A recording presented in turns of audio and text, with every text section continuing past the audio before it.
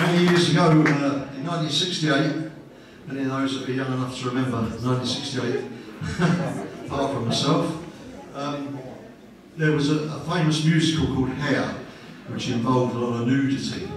And uh, when Deep Purple played in New York, we met one of the cast of Hair, um, a lovely looking lady, and she inspired, her name inspired the song. This is called Emmaretta.